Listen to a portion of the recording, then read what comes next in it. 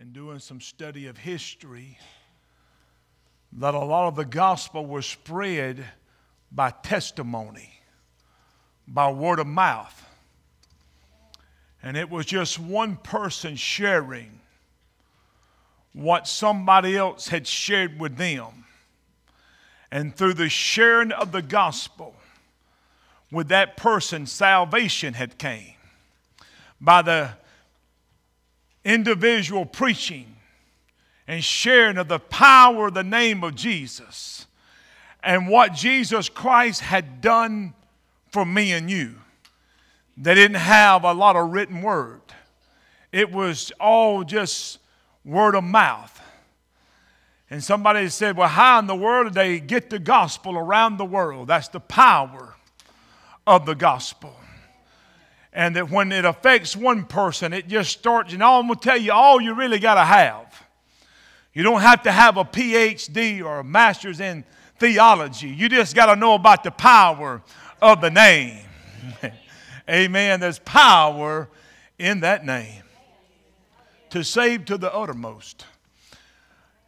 In the book of Psalms, in chapter 85, I want to try to just sort of catch up or connect back where I was left off last Sunday. And we had spoke, a, preached on a message, renew my strength. I don't know if you heard this, uh, if you it's on social media on our Facebook page and our YouTube channel. But I just really felt like when I got home, I just did not cover it efficient, effectively. And I woke up this morning, it had to be around 2:30, which I don't think the time got me kicked off that bad. But I'm laying in the bed really praying about the message for today and had really spent some time on something else, but God really brought me back to this. And I believe God's going to minister to you today. In Psalms chapter 85 and verse 6, he said, Will thou not revive us again, that thy people may rejoice in thee? Father, we thank you, Lord, for this time. We thank you, Lord, for the reading of your word. We thank you for the power of the Holy Spirit and your anointing, Lord, that rests upon us to declare your word this morning.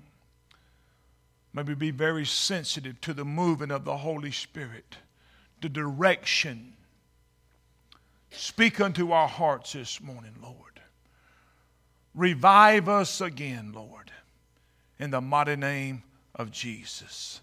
Will thou not revive us again, that thy people may rejoice in thee?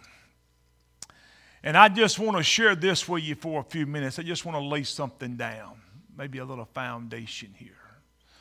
Because the word revive is to return to life. It gives really the impression in our mind of something that is dying or something that has already died. And probably to the strength of the word revival and the strength of the power of God, we may want to just look at it not of something that is dying, but something that has already died. And it carries me back in my mind just to really grab a hold to this word revival or revive. I don't know what you get from this. Sometimes we have referred to as revivals of just having a little get together or certain time of the year where we had special singers and special music and special preachers. But I want to tell you, if anything is to be revived, it's going to come by the power of God in Him alone. And it carries me back to a story. I just think this best gives the definition of this word revive. And I want you to grab a hold of this because no matter where you're at, He is able to revive. You're not past the point of no return. You are not past a point that no one can help you. And when I say no one, I'm not referring to myself or to somebody else. I'm referring to a specific someone, and his name is Christ, Jesus the Christ, the Redeemer. He is able to revive, He is able to restore. And so you go back to this story in the book of Ezekiel. Anybody ever read Ezekiel chapter 37? I think it just really gives the, the utmost definition of this word revive. Because when you look over here in Ezekiel chapter 37, there Ezekiel walks out and the, he sees a valley of dry bones. Now, let me go ahead and say this. He does not see a valley of dead people, he sees a valley and not just of bones, but of dry bones. In other words, they have laid there for so long, there is no longer any kind of resemblance of anything of any kind of man or a woman. They are just dry, fragile bones that have been laid out in the sun. And I like what the Lord had asked Ezekiel. He says, Can these bones live? Uh, like there was some kind of quick uh, trick question, but I think uh, Ezekiel just takes the, the point. He says, Lord, you know whether they can live or not. And I want to tell you this morning that we know through the, through the history of this that God is able to raise up things that have died. And it was here at the valley of these dry bones. This is a army. This is a nation. I like to look at it as a nation of Israel. And while I got a chance here, I'm going to say this this morning. That when you look at the nation of Israel, you see the redeeming hand of the Lord. That no matter how many times someone has tried to destroy them, they still can't come back. And you see this in this nation. And for the naysayers, I just want to tell you that what's going on over there in Israel today, when it's said and done, Israel will still be standing. It's a testimony to the power of God. So when you look at this valley of dry bones, you see this army that has died. You see this nation that has been uh, has just sort of disappeared. And man, what is going to happen? Is God able to revive something that has gone this far? And the good news is that we know the history of this story because when we began to look at it, the Lord had spoke to Ezekiel and told him to stand out. I can see him standing on the edge of the mountain. And he tells him to begin to prophesy. In other words, begin to release the word of God. And I want to tell you there's power in this word. There's power in the word of God. And as he speaks over this valley, He's just releasing what the Lord has spoken unto him.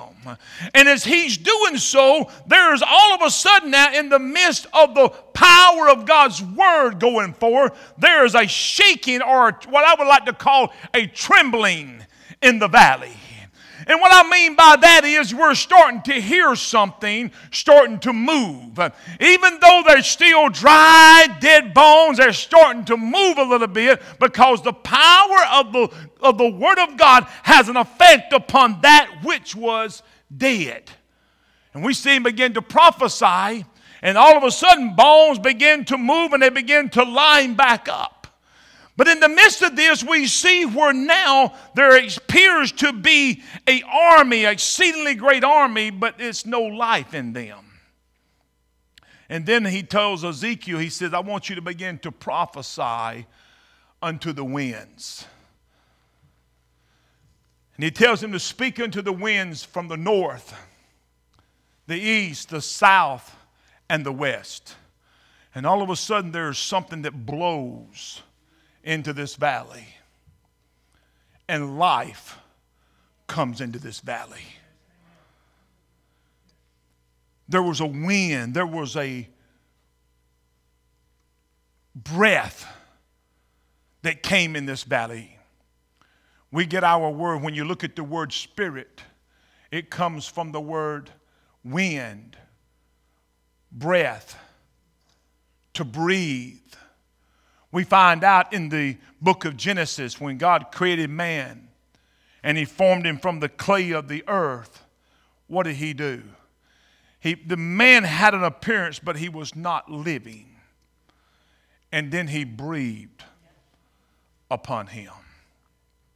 And so you see through the breath of God that now man has come alive. We, we find this word, wind or breath, and you can start to weave it all the way through the Old Testament on into the New Testament. I have found out that in the midst of everything that we're doing and what all is going on, if there's anything that needs to happen today, Lord, we need revive us again. Oh Lord. Revive us again. And my cry is this morning is we begin to cry, revive us. We're not speaking of someone else, we're speaking of ourselves. Lord, revive me again. Move in my life in a mighty way. Lord, I need you. Last week, when we left off, I was talking about the battles that we go through. And how many of you face battles? The Bible says this that we wrestle not against flesh and blood, but against powers and principalities and spiritual wickedness in heavenly places. Wrestling has to do with grappling with one another, trying to put your opponent into a position that we would say that they would tap out. We also started last week from the book of Galatians in chapter 6 and verse 9, where Paul said, Do not be weary in well doing. For in due season you shall reap if we faint not. And I really believe that he put this here for a reason. He did not put do not be weary there for nothing. He, he put that there because there is a chance, there is a possibility of us becoming weary in what we're doing, just becoming a heaviness upon us. It's just something that's trying to take the breath out of you. I don't know if you've ever been played on the playground before or not. And maybe you're just running around if you ever played any kind of sports. But I'm going to tell you, you can tell when the breath has been knocked out of you. you will think for a moment, I think I'm about to die. if you never had the breath knocked out of you, you're sitting there trying to breathe, but you're just absent a breath. And this is what the adversary is trying his best to do just to knock the breath out of us. To a point that the church or individuals just come to a place that we feel defeated, that we feel helpless, and maybe even to a point that says, you know what, I think I'm just at the point that I just don't know whether this fight is even worth it. Let me share this with you this morning. This is something that is happening in the churches of America today. There has been a lick that has been landed, and it's like it has taken the breath out of us. We can see it in the zeal and the passion of our worship. In our testimony, we can see it. We always referring back to what God has done and not what God is doing. There was something that I missed last week that I really want to cover. And it's recorded in the book of 1 Samuel in chapter 30. In chapter 30, there was something here that I did not make mention of that I had down that I thought that I had it as an important thing that I wanted to cover. We find out in Samuel, 1 Samuel chapter 30, that David and his men, there is a city there called Ziklag that has been given unto him. Anybody know about this? If you haven't, I'm going to just give you a brief overview of this. That now he has tried to go into battle and he says, David, we don't need you, just go back to Ziklag. And he had left his family there, he had left his kids there. He had left his cattle there. Everything that he had and his army had was in a place called Ziklag. And there is not only a battle going on with the Philistines, there is a battle that has been taking place in Ziklag. And the enemy, the Amalekites, had come to invade Ziklag and take all of David's stuff. The Bible says that he had been smitten there, that there was a blow that had been delivered, not a fatal blow, but a blow that had just taken really the life out of him a blow that would disable him, a blow that had come to his way that you would just sort of come to a place, I don't even know if I can make it through this or not.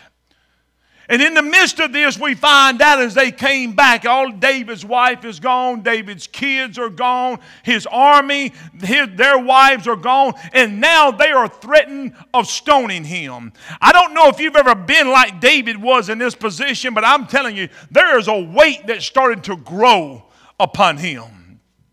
Are you with me? There is a, a, there's a blow that has hit him one after another. Not only is my family gone, but also my army's family is gone. And now the army that has been behind me has now got together, and now they're speaking of stoning me. And there was this word here. He said he was distressed. It's in the 1 Samuel chapter 30 and verse 6 and David was greatly distressed.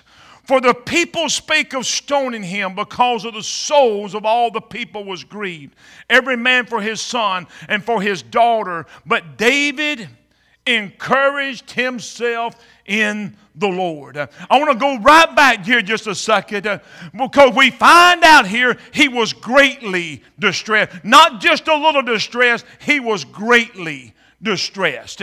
What did this mean here? Because the more I begin to look at this, it carried me all the way back when it talks about we wrestle not against flesh and blood, but against powers and principalities, and how the spirit of weariness is just trying to hold you and stop you and literally take the life out of you. And we find out here this word distress means to be wrapped, like something has done wrapped around you. Oh my. It means to tie up or to lock up. It means to restricted. It also means to constrict.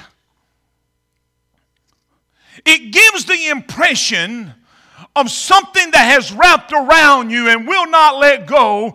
And the more that you move and the more that you do something, it tries to continually just choke the life out of you.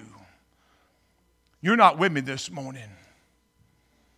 If you watched any old shows where they begin, you start to see what a python or some snake like this, what does he do? The way that he takes the life out of you is to wrap around you, and he is just trying to squeeze the life from the inside of you out. In other words, he is trying to deliver a blow that is going to take all the air out of you.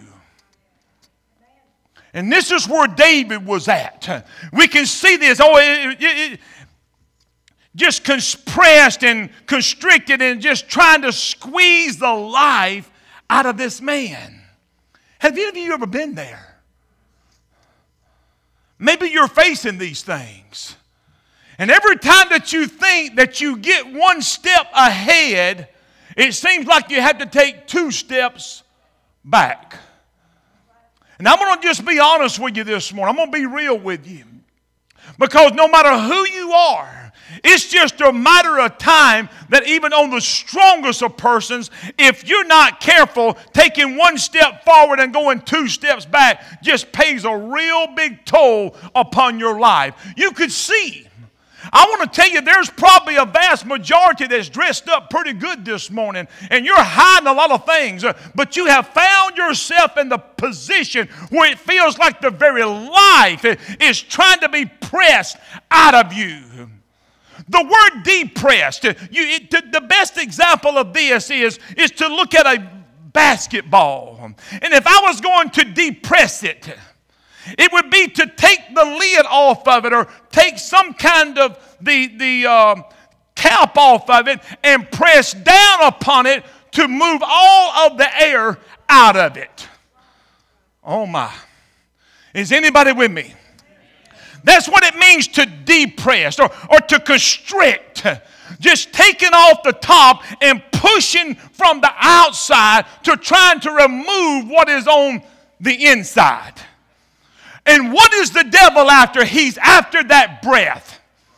Oh, he's after your testimony. He's after your shout. He's after he's after that word. He's after everything that's on the inside of you. Let me just continue and try to put the pressure from the outside and try to take every bit of life that's in him out. Oh my. You ever been there? You find yourself here and you're asking yourself, What do I do, Pastor? And you know something, I'm also going to be straight up with you on this. Not that I ain't been straight up on the rest of the stuff. There's a vast majority of people that find themselves there. There's a vast majority that fill in our churches across America that the life has just done been sucked out of them. How did this happen? First of all, it was an assignment. There was a spiritual attack. And what has happened for so long, we have, we have been really good at diagnosing the problem, but not giving the answer. I want to tell you, I, I, thought about this because you ever been to the doctor and you walk in? I don't know about how your doctor is. And I, I do know a good bit about what's going on with me. Probably nobody knows no more about what's going on with you than you do. But you walk in and the doctor starts asking you questions. And I'm thinking to myself, Doctor, I come here for you to diagnose me. Because I, I can tell you what's hurting and aching. And we have come really good at telling and diagnosing the problem. Oh, that you're in a warfare. And the preachers have told you you're in a spiritual war. Nobody had to tell you this morning when you come into this place that you're in a spiritual battle. Nobody had to tell you that. I didn't have to spend the first 15 minutes of this message telling you that. You came here already knowing that I am in a spiritual battle and it seems like there has been a pressure applied from the outside, just literally exhausted me of life. So, what is the answer? I'm glad you, answer, you ask. I like what David said because along the line, you just got to come to the place where David was at that David had examined the, the situation. He seen where the very life of everything he had was being pressed out of him. He had also seen where his men were threatened of stoning him. You can just see how this is building up with David. And you can see where he's at. And he's David was a man that had done tried a lot of things. When you go back and look at his past, he done tried all the ups and downs and he done tried all the three step program. But what David had learned through his life, he said, I know a man. And this is when David said, I will encourage myself in the Lord.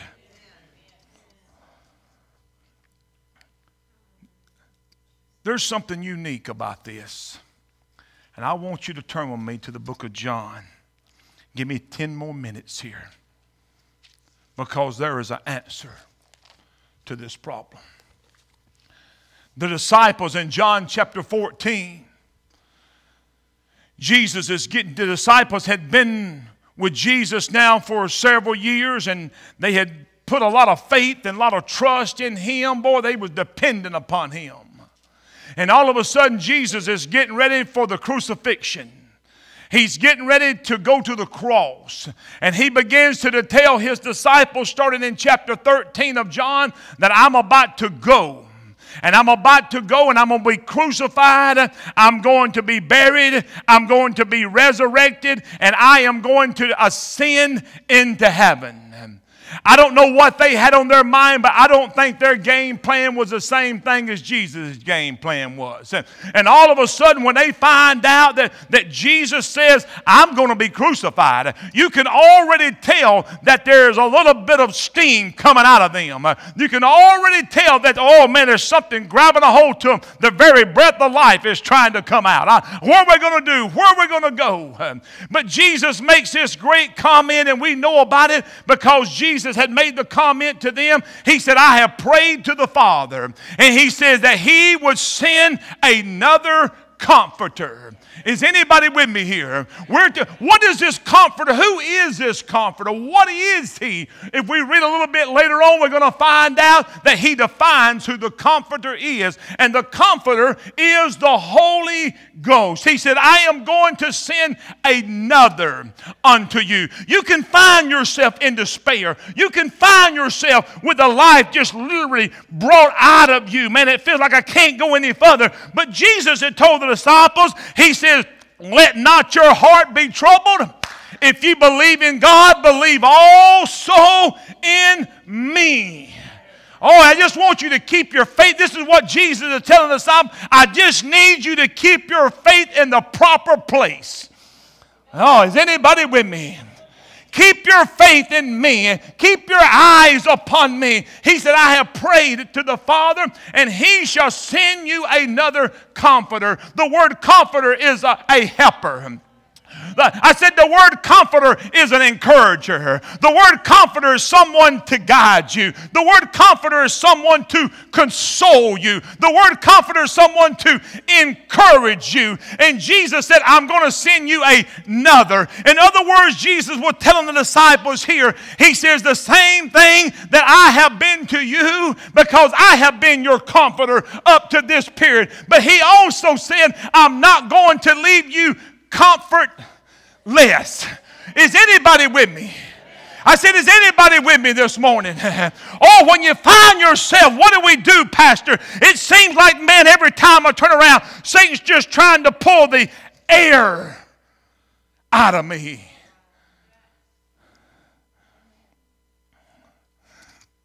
Y'all stay with me just a minute. He said, I will not leave you comfort less. Ooh, my, my, my. What does this mean? Let me say it. He will not abandon you. He will not abandon you. The word comfortless is where we get our word orphan. And that comes from a place that when a young child was born, that the, this, the passing away of his mom and dad would leave him a orphan. In other words, he wouldn't have anybody to help him unless just somebody came along. He was left abandoned. Nobody wanted, but Jesus told the disciples, I'm leaving, but another one another one. Uh, I'm not going to abandon you. I'm not going to leave you in the condition that you're in. He says, I am going to send a encourager to you, someone to empower you, someone to guide you, someone to direct you. Oh my. We find out. Y'all still with me? We find out when we get to the book of Acts.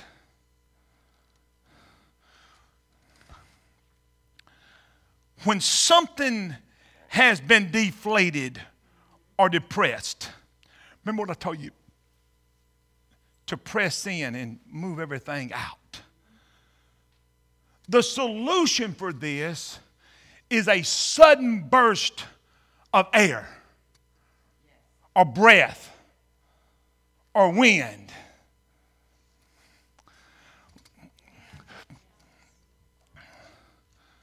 the solution to something where all the air is gone. What would cause something that had been absent of air to be revived, a sudden burst of air. So when Jesus looked at disciples, he told them this in the book of Matthew in chapter 24 and verse 49. He said, Go tarry in the city of Jerusalem till you be endued, till you be enclosed, till you be empowered. And we find out in the book of Acts. Let me go back just one second when something has been deflated, when something has had all the air pressed out of it. The solution to this is a certain burst of air, breath, or wind. This is the word spirit. You can just go back and look it up.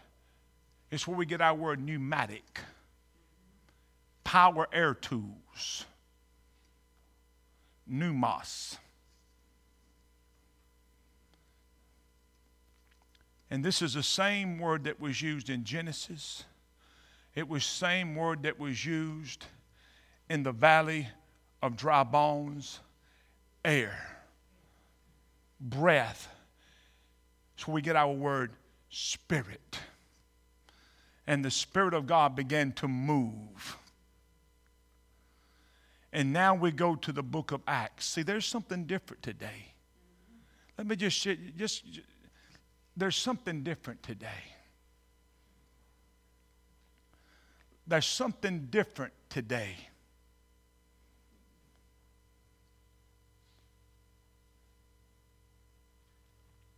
Lord, help me here.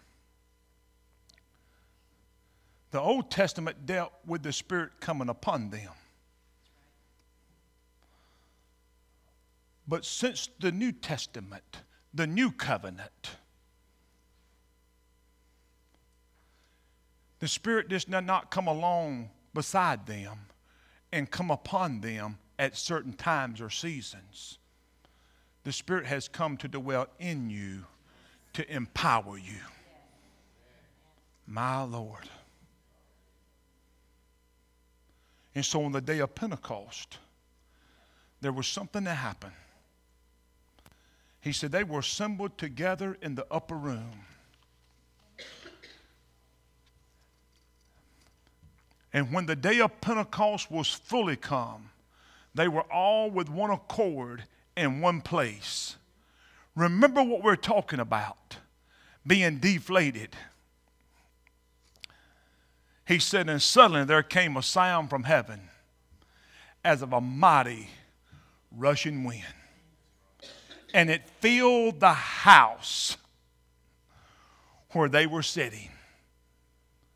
And this is the promise of the Father to me and you.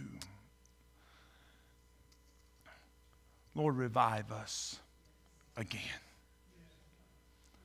Revive us again. This is the power of the Holy Spirit because of the shed blood of Jesus Christ, has put us into this position.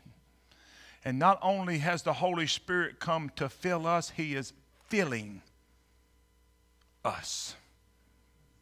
You're going to find out as you go through the book of Acts, you're going to find out that these disciples were continually being filled with the power of the Holy Spirit. I want you to stand your feet this morning. Hallelujah. Lord, I thank you, Lord, for today. I thank you for this opportunity and time to come and to preach your word. Lord, we thank you for the power of the gospel, the very shed blood of Jesus Christ that has been shed for us. And Lord, we have been redeemed by the precious blood of Jesus. Lord, there's men and women here this morning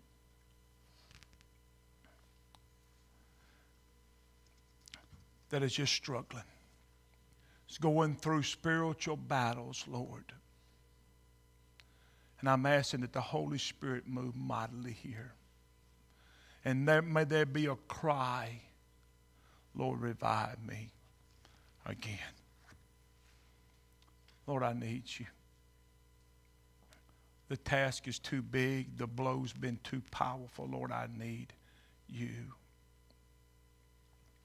When it comes down to it, victory comes only in the blood and Him alone. But me and you, just like David, leaning on Christ and Him alone. Hallelujah. I thank you, Lord, for this morning. I pray, God, for healing in this house today.